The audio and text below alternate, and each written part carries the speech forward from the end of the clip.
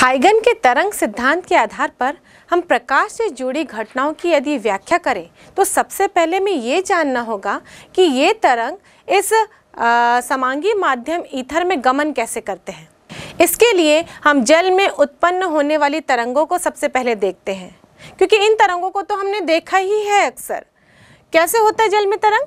मान लीजिए शांत जल है, बिल्कुल क्वाइट काम, और इसमें यदि तरंग उत्पन्न करना हो तो हम या तो इसमें कंकड़ डाल देते हैं, या तो पानी की एक बूंद भी यदि इसमें गिराएँ तो इसमें तरंग हमें दिखाई देता है, जिन्हें हम लहरें भी कहते हैं।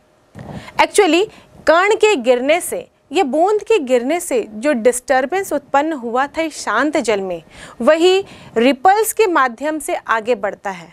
ये जो उथल पुथल मची है, वो एक निश्चित पैटर्न में आगे बढ़ती हुई नज़र आती है। हम देख सकते हैं, पहले एक छोटा सा आपको रिपल दिख रहा है, फिर बड़ा फिर बड़ा, इस प्रकार ये रिपल आगे बढ़ती हुई नज़र आती हैं। और इसी तरह से ही तरंग भी गमन करती है। यदि इस शांत जल में उत्पन्न होने वाले रिपल्स को हम देखें तो ये रिपल्स क्यों उत्पन्न होते हैं? क्योंकि इस शांत जल में डिस्टरबेंस के कारण सारे कणों में उथल पुथल मच जाती है और सारे कण कंपन करने लगते हैं। यदि हम किसी पर्टिकुलर रिपल को देखें तो उस रिपल में जितने भी कण कंपन कर रहे हैं, वो एक साथ कर रहे होंगे। किसी क्षण में उनकी अवस्था बिल्कुल एक जैसी होगी। या हम ये कह सकते हैं कि सारे कण समान कला में कंपन करते हुए होते हैं। इसलिए ये एक रिपल का निर्माण करते हैं।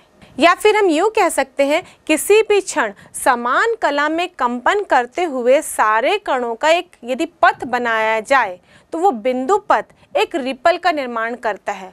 और इसी बिंदु पथ को हम तरंगाग्र यानी कि वेव फ्रंट के नाम से जानते हैं।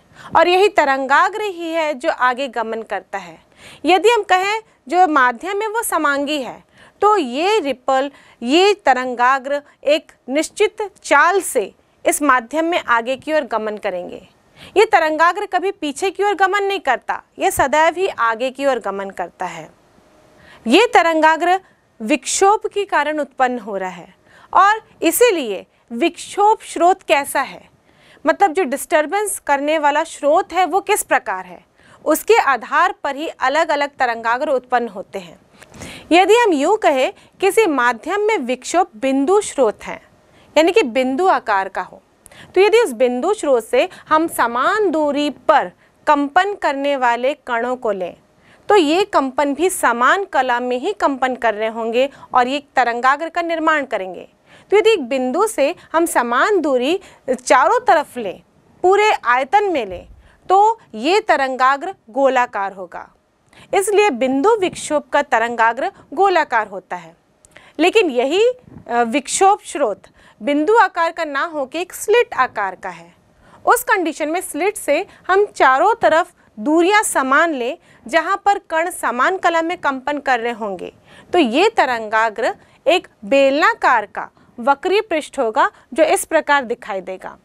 और यदि हम इस गोलाकार या फिर बेलनाकार तरंगाग्र को देखें, जो कि एक असीमित दूरी पर हो तो हम देखेंगे कि इनकी जो वक्रता है, वो कम होते जाएगी। और एक निश्चित भाग पर यदि इनको देखें तो ये गोलाकार, ये बेलनाकार तरंगाग्र हमको समतल नज़र आते हैं। और इस प्रकार एक छोटे से एरिया पर इस कम वक्रता वाले बेलनाकार या गोलाकार तरंगाग्र का भाग, वो समतल तरंगाग्र का निर्माण करते हैं। या फिर हम यूँ कह सकते हैं कि जब विक्षोभ स्रोत बहुत ही दूर पर हो तो उसका तरंगाग्र एक समतल तरंगाग्र यानी कि प्लेन वेव फ्रंट होता है। और इस तरंगाग्र पर यदि हम कोई लंबवत रेखा खींचे तो ये खींची गई लंबवत रेखा प्रकाश किरण का निर्माण करती है। प्रकाश किरण के बारे में इसलिए हमको समझना ज़रूरी है, क्योंकि अभी तक हमने परावर्तन, अपवर्तन की घटना की जब व्याख्या की तो हम प्रकाश को एक किरण के रूप में देखते थे। और उन किरणों का कैसे अपवर्तन या परावर्तन हो रहा है, इस चीज़ को हम समझें। अब हम तरंगाग्र यानी कि वेव फ्रंट के आधार पर अपवर्तन, परावर्तन और इससे जुड़ी अन्य घटनाओं को समझेंगे। तो हम पहले इसको रिलेट कर लेते हैं किरण से। तो प्रकाश किरण का निर्माण कब होगा? जब तरंगाग्र पर हम एक लंबवत रेखा खींचेंगे। और ये प्रकाश किरण की दिशा, इस प्रकाश के ऊर्जा संचरण की दिशा को बताती है। अब हम देखते हैं कि हाइगन के सिद्धांत के अनुसार ये तरंगाग्र मीडियम में आगे कैसे बढ़ता है। यदि हमने कोई एक बिंदु विक्षोभ लिया है, इसका तरंगाग्र कैसा होगा? गोलीय।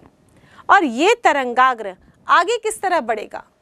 एक्चुअली ये तरंगाग्र बहुत सारे कणों का बिंदु पथ है जो कि समान कला में कंपन कर रहे हैं। और यदि इन कणों को हम ध्यान से देखें तो इस तरंगाग्र का प्रत्येक कण एक विक्षोभ का स्रोत बनता है। मतलब ये फिर से एक नया तरंगाग्र उत्पन्न कर सकता है।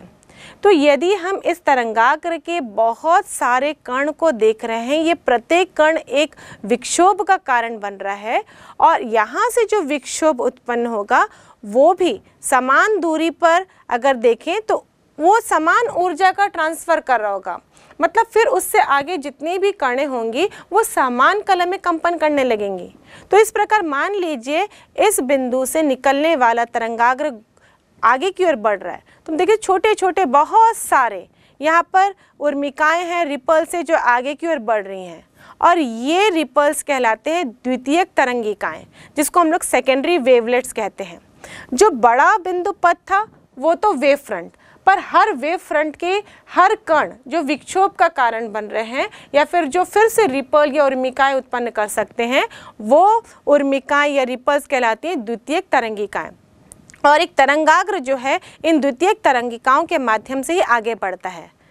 अब ये जो द्वितीयक तरंगिकाएँ यहाँ पर नज़र आ रही हैं, इस पर हम कोई स्पर्श रेखीय तल खींचे। तो ये स्पर्श रेखीय तल को जब ज्वाइन करते जाएँगे तो फिर से हमको एक नया रिपल देखने को मिलेगा। और यही नया रिपल एक नेक्स्ट तरंगाग्र का, एक अगले वेव फ्रंट का निर्माण करता है। और इस प्रकार हम देखें तो ये तरंगाग्र आगे की ओर बढ़ता जाएगा। क्योंकि ये तरंगाग्र जो दूसरा हमने पाया है, इसमें भी सारे कण फिर से विक्षोभ का कारण बनेंगे और इसमें भी नेक्स्ट द्वितीय तरंगिकाएँ उत्पन्न होंगी। फिर उस पर हम एक स्पर्श रेखी तल का निर्माण करें तो वो नेक्स्ट तरंगाग्र बन जाएगा। और ये तरंगाग्र सदैव आगे की ओर बढ़ते हैं, पीछे की ओर नहीं बढ़ते। यदि माध्यम समांगी हो तो ये जो तरंगिका है द्वितीय तरंगिकाएँ, वो मूल तरंगों के चाल से ही संचरण करती है। और इस प्रकार ये तरंगाग्र किसी भी माध्यम में आगे की ओर बढ़ते जाता है। और हाइगेन के अनुसार ये प्रकाश तरंगाग्र पूरे ब्रह्मांड में फैले हुए ईथर में एक निश्चित चाल 3 into ten to the power 8 metre per second की चाल से आगे बढ़ता है। अब हम हाइगन के तरंग सिद्धांत के आधार पर प्रकाश के परावर्तन की घटना की व्याख्या करते हैं। इसके लिए हम एक परावर्तक पृष्ठ लेंगे, जिसे हम एक्स वाई से यहाँ पर दर्शा रहे हैं, और एक प्लेन वेव फ्रंट यानी कि समतल तरंगाग्र, जिसे हम यहाँ पर ए बी से दर्शा रहे हैं। ये plane wave front A B इस अपवर्तक पृष्ठ एक्स वाई पर किसी कोण से अपतित हो रहा है। इस कोण को हम अपतन कोण कहेंगे। परावर्तन के नियम को सिद्ध करने के लिए सबसे पहले हम परावर्तन के नियम को रिकॉल कर लेते हैं। अपतन कोण और परावर्तन कोण हमेशा बराबर होते हैं। दूसरे नियम के अनुसार अपतित किरण, परावर्तित किरण और अभिलंब, ये तीनों एक ही तल पर होते हैं। तो यहाँ पर हमें इस प्लेन वेवफ्रंट के साथ साथ प्रकाश किरण भी दर्शाना होगा। तभी तो हम दूसरे नियम का सत्यापन कर पाएँगे। हम जानते हैं किसी भी वेव फ्रंट यानी कि तरंगाग्र पर प्रकाश किरण, उसके लंबवत खींची गई रेखा होती है। तो यहाँ पर इस ए बी तरंगाग्र के लंबवत खींची गई रेखा पी ए और क्यू बी ये प्रकाश किरणों को दर्शा रही है। अब ये plane wave front A B यदि इस एक्स वाई परावर्तक पृष्ठ पर अपतित होता है किसी कोण आई से, जिसे हम अपतन कोण कह रहे हैं तो ये अपतन कोण यहाँ पर बनेगा। और ये प्रकाश किरण के लिए देखें तो प्रकाश किरण, यदि हम यहाँ इस परावर्तक पृष्ठ पर अभिलंब ए एन डालें तो इसके बीच में जो कोण बन रहा है, ये भी आई होगा। यानी कि अपतन कोण। इस चित्र को यदि हम ध्यान से देखें तो यहाँ पर जो plane wave front A B है, इसमें मौजूद हर एक कण द्वितीयक तरंगिकाओं को उत्पन्न करेंगे। और जो कण ए पर है, वो तो इस परावर्तक पृष्ठ को टच कर चुका है। मतलब यहाँ से उसका परावर्तन हो जाएगा और यहाँ से दूसरा वेव फ्रंट यानी कि परावर्तित वेव फ्रंट निकलेगा। लेकिन जो कण बी पर है, वो तो अभी इस परावर्तक पृष्ठ पर नहीं पहुँचा। उसको इस परावर्तक पृष्ठ में पहुँचने में कुछ समय लग रहा है। मान लीजिए टी समय पर, जो विक्षोभ है, वो बी से सी बिंदु पर पहुँच रहा है। और जो तरंगाग्र हमने लिया है ए बी उसका वेग v है। तो b से लेकर c तक तय की गई दूरी कितनी होगी? हम जानते हैं दूरी बराबर होता है चाल इंटू समय। इस ए बी वेव फ्रंट का चाल v है और ये तय की गई दूरी में लगने वाला समय t है। तो b से लेकर c तक तय की गई दूरी होगी v इंटू टी जब तक B बिंदु से विक्षोभ C बिंदु तक पहुँचता है, उतने ही देर में A बिंदु से होने वाला विक्षोभ परावर्तन के पश्चात उसी माध्यम में वापस लौट जाएगा। और ये वेव फ्रंट परावर्तन के पश्चात कहाँ प्राप्त होगा, इसको देखने के लिए हम A बिंदु से VT रेडियस का एक स्फीयर खींचते हैं। VT रेडियस को क्यों खींचा हमने? क्योंकि B से लेकर C तक दूरी VT है और उतने ही देर में जो परावर्तित वेवफ्रंट है, वो A से उसी माध्यम में पार हो चुका है। तो यहाँ पर जो रेडियस होगा स्फीयर का, वो VT ही लिया जाएगा। अब यदि इस स्फीयर पर हम एक टेंजेंट ड्रॉ करें, एक स्पर्श रेखा ड्रॉ करें तो वो दूसरा वेव फ्रंट यानी कि दूसरा तरंगाग्र प्राप्त होगा। तो हम यहाँ से एक टेंजेंट ड्रॉ करते हैं सी तक। तो ये रेखा सी ई ये दर्शाती है परावर्तित वेव फ्रंट को, यानी कि परावर्तित तरंगाग्र को। और इस परावर्तित तरंगाग्र का इस परावर्तक पृष्ठ के साथ कोण होगा आर यानी यहाँ पर आई आपतन कोण है और आर परावर्तन कोण। और इन्हीं दोनों कोणों को ही हमको बराबर साबित करना है, यदि हम परावर्तन के नियम को यहाँ सिद्ध करना चाहते हैं। ये ए ई रेखा हमने क्यों खींची? क्योंकि ये ए ई रेखा इस सी ई रेखा पर लंबवत रेखा है। यानी कि ये सी ई वेव फ्रंट तरंगाग्र के लिए प्रकाश किरण को दर्शा रही है। तो ए ये क्या कहलाएगी? ये परावर्तित प्रकाश किरण होगी। मतलब इस चित्र में हम देखें तो ए बी आपतित तरंगाग्र है और सी ई ये परावर्तित तरंगाग्र है। वैसे ही यदि किरणों के रूप में देखें तो जो पी ए है, वो आपतित किरण है और जो ए ई है, वो परावर्तित किरण है। अब हम दो त्रिभुजों को देखते हैं। त्रिभुज ए बी सी और त्रिभुज ए ई सी। इन दोनों त्रिभुज में कोण ए ई सी और ए बी सी ये दोनों बराबर हैं, क्योंकि ये दोनों ही 90 डिग्री हैं। और ए ई बराबर बी सी है, और ये दोनों वी टी के बराबर है।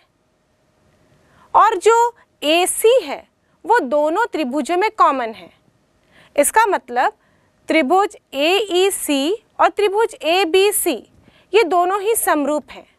और यदि ये दोनों त्रिभुज समरूप हुए तो कोण आई बराबर आर होगा।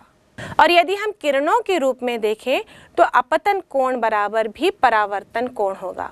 और यही परावर्तन का पहला नियम है। और इस चित्र में हम देखें तो ये जो अपतित किरण है पी ए और जो परावर्तित किरण है ए ई और ये अभिलंब ए एन ये तीनों एक ही तल में हैं। यानी कि आपकी कॉपी के कागज़ तल में है।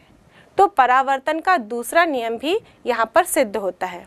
यानी कि हाइगन के तरंग सिद्धांत से हम परावर्तन के दोनों नियमों को सिद्ध कर सकते हैं या यूँ कहे, परावर्तन की घटना की व्याख्या कर सकते हैं। अब हम हाइगन के तरंग सिद्धांत के आधार पर प्रकाश के अपवर्तन की घटना की व्याख्या करते हैं। हम जानते हैं कि जब प्रकाश एक माध्यम से दूसरे माध्यम में गमन करती है तो इसके वेग में परिवर्तन हो जाता है। और इसी कारण ये अपने मार्ग से विचलित हो जाती है, यानी कि बैंड हो जाती है।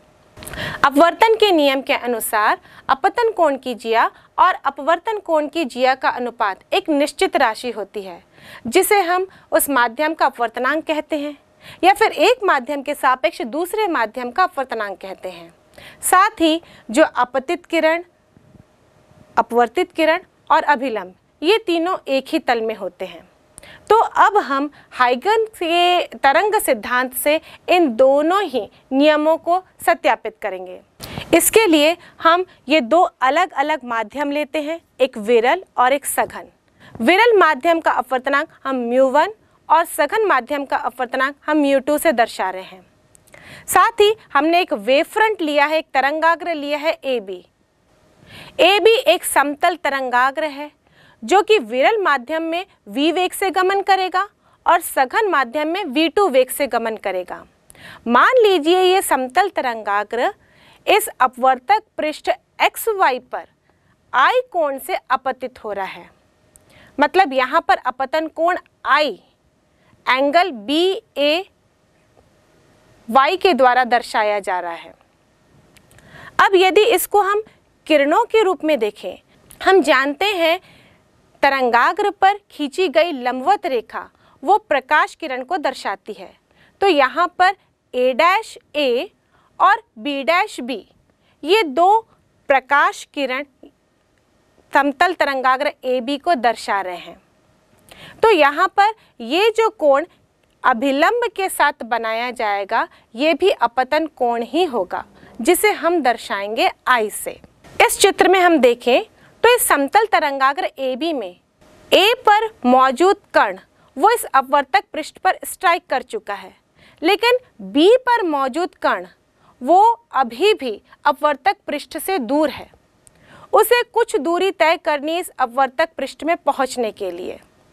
मान लीजिए उसे इस अपवर्तक पृष्ठ में पहुँचने में टी समय लगता है।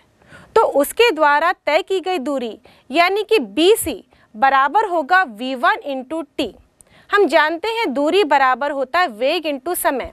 और इस पहले माध्यम में वेग वी वन था और लगने वाला समय टी और इतनी ही समय में जो कण इस ए बिंदु पर मौजूद है, वो द्वितीय तरंगाग्र का निर्माण कर देगा।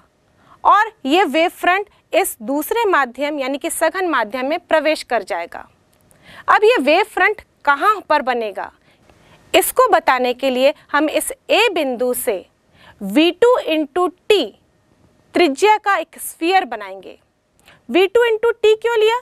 क्योंकि हम t समय पर कितनी दूरी तय की गई है ये देखना चाहते हैं और सघन माध्यम में वेग V2 है। इसलिए हम इतनी ही त्रिज्या का स्फीयर बनाएँगे और जब इस स्फीयर पर हम एक स्पर्श रेखीय तल खींचेंगे तो वो तल द्वितीय तरंगाग्र का निर्माण करेगा, यानी कि अपवर्तित तरंगाग्र का निर्माण करेगा। इस चित्र में हम देखें तो ई e सी ये अपवर्तित तरंगाग्र है। इसलिए कोण ए सी ई ये अपवर्तन कोण कहलाएगा। और यदि इसको हम लोग प्रकाश किरण के रूप में देखें तो इस समतल तरंगाग्र ई सी पर यदि हम एक लंबवत रेखा खींचे, यानी कि ए बिंदु से आगे बढ़ाएँ तो ए ई ये प्रकाश किरण है जो कि अपवर्तित किरण को दर्शाती है। इसलिए यहाँ पर जो कोण बन रहा है, ये भी अपवर्तन कोण ही है। अब हमको अपवर्तन का पहला नियम सिद्ध करना है, यानी कि स्नेल का नियम। तो हम इस त्रिभुज ए बी सी में देखें। साइन आई बराबर होगा बी सी अपॉन ए सी लंब बटे कर्ण। बी सी का मान है V one into T upon A C और साइन आई बराबर निकालने के लिए हम इस दूसरे त्रिभुज को देखते हैं, त्रिभुज ए सी ई इस त्रिभुज में साइन आर बराबर होगा ए ई अपॉन ए सी ए ई का मान होगा V two into T upon A C sine I बराबर साइन आर का मान होगा V one into T upon V two into T यहाँ से टी और टी कैंसिल हो जाएँगे तो sine I upon sine R मिलेगा V one upon V two और ये एक नियत राशि है, क्योंकि प्रकाश का वेग एक माध्यम में नियत रहता है। अब इसी समीकरण में मैं न्यूमरेटर और डिनोमिनेटर को सी से भाग दूँ, यानी कि निर्वात में प्रकाश के चाल से भाग दूँ। तो ये समीकरण ऐसा बन जाएगा v1 one upon C upon V two upon C और हम जानते हैं कि निर्वात में प्रकाश की चाल और माध्यम में प्रकाश की चाल का अनुपात उस माध्यम के अपवर्तनांक के बराबर होता है। तो यहाँ पर ये उल्टा है, इसलिए हम लिखेंगे one upon mu one divided by one upon mu two. और ये समीकरण बन जाएगा sine I upon sine R equal to mu two upon mu one. और ये दो माध्यम के अपवर्तनांकों की तुलना है। इसे हम दर्शाते हैं वन म्यू टू से, यानी कि पहले माध्यम के सापेक्ष दूसरे माध्यम का अपवर्तनांक। और यही अपवर्तन का पहला नियम है, यानी कि स्नेल का नियम, म्यू बराबर sine I upon sine R. और इस चित्र को हम ध्यान से देखें तो यहाँ पर जो अपतित किरण, अभिलंब और अपवर्तित किरण, ये तीनों ही एक ही तल में हैं, यानी आपके कॉपी के कागज़ के तल में हैं। इसलिए यहाँ पर अपवर्तन के दोनों नियम ही सिद्ध होते हैं। अब यहाँ से हम अपवर्तन से जुड़े कुछ और निष्कर्ष भी निकाल लेते हैं। यदि प्रकाश विरल से सघन माध्यम में प्रवेश कर रही हो, यानी म्यू वन का मान म्यू टू से कम हो, उस कंडीशन में साइन आर का मान साइन आई से कम होगा। और साइन आर का मान साइन आई से कम है, इसका मतलब जो अपवर्तित किरण है वो अभिलंब के पास झुकेगी। और ऐसा ही होता है, जब प्रकाश विरल से सघन माध्यम में प्रवेश करती है तो वह अभिलंब के पास झुकती है। यदि प्रकाश सघन से विरल माध्यम में प्रवेश करे, यानी कि म्यू वन का मान म्यू टू से अधिक हो, उस कंडीशन में साइन आई का मान साइन आर से कम होगा। और इस कंडीशन में प्रकाश किरण अपवर्तन के पश्चात अभिलंब से दूर झुकेगी। और इस परिघटना से प्राप्त इस समीकरण को यदि हम देखें V one upon V two equal to sine I upon sine R equal to mu two upon mu one और यदि प्रकाश विरल से सघन माध्यम में गमन कर रही हो, यानी कि साइन आई का मान साइन आर से अधिक हो, या हम यूँ कह सकते हैं अपतन कोण का मान अपवर्तन कोण से अधिक हो तो उस कंडीशन में v1 v2 से अधिक होगा। यानी कि विरल माध्यम में प्रकाश का वेग अधिक होगा और सघन माध्यम में प्रकाश का वेग कम होगा, जो कि वास्तविक परिस्थितियों के अनुकूल है।